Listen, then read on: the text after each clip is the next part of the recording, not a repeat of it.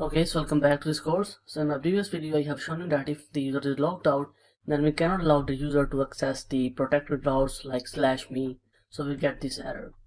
So let's protect our route on the front end. I simply go to my VS Code and close this profile. And in the components folder, I'm going to create my new folder here that is called route. Okay, in the route, I'm going to create a new file here that is called protected_route.js. Protected route protected .js and RACFE to create my basic markup. Okay, so that is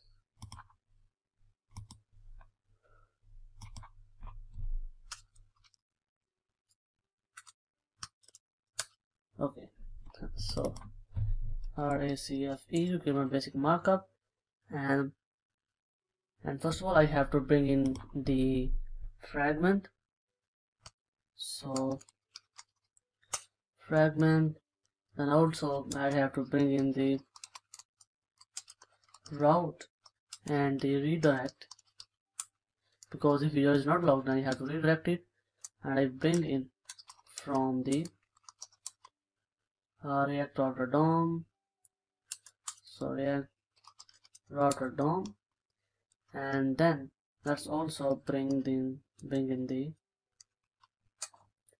uh, import the use selector because I have to select the user also from the React Redux okay? And in the props we would pass from the app.js so whatever, whatever route we want to protect we will pass the component. So simply type here the component and we will bring that component in as a small small like we will bring this component as this component and also we will get from the uh, the rest parameters. And I will show you in a minute when we'll pass that from our app.js right let's put in here the fragment. Okay and then let's first of all also bring in our user to check that if it is authenticated or not so I pull out is authenticated loading and the user okay? Equals to use selector state dot auth alright? So I simply check that if loading is equal to false okay? If loading is false and we will simply route and the route we have to pass uh, the options. So for that options I will simply put in here oops route. I will simply spread here the dot dot dot rest. And after the rest I simply have to have the render. So render equals to props okay. And in that first of all I check that if is authenticated is equal to false okay. So if is authenticated is equal to false this means that user is not logged in. So I will simply return from here with redirect to slash login okay. And then um I have to also close this route like this. Simply save it. And oh we also have to basically return the component and we pass in the dot dot dot props. I will explain all this code in a minute. Simply save it. And now if I go to my app.js I simply have to bring in my protected route. So import protected route from dot slash components slash route slash protected route. And whatever route we want to protect I will simply type here the protected route. Simple as that. Simply save it. And now let's check it out. If I go back and you can see that I am already redirected. If I go to now uh, slash me.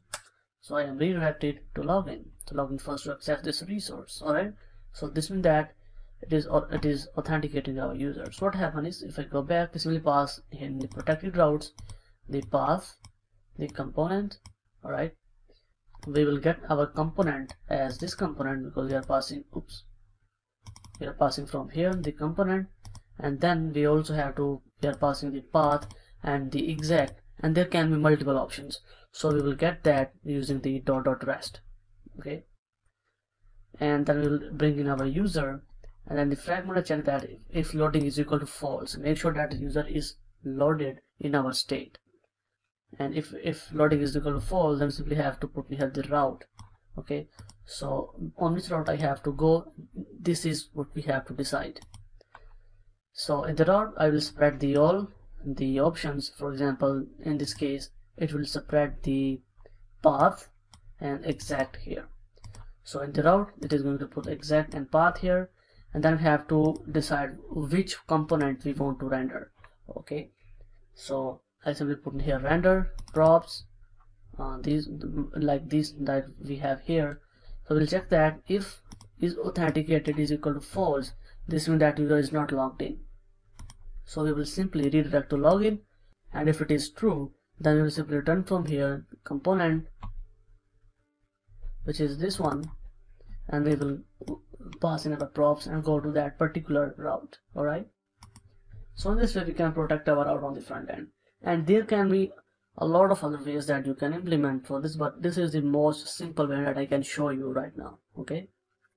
So now whenever we want to make our route protect we simply type here protected route if we don't want to make any route protected then we simply have to use here route itself like this right I hope that you understand so that's the end of this video I, I hope that you understand each and everything you can definitely ask me question if you don't understand anything about it so in my next video, I want to first of all update the profile of the currently logged in user. If user want to change its email, name or profile picture, then I also want to do that. Okay. So I will see you in the next video.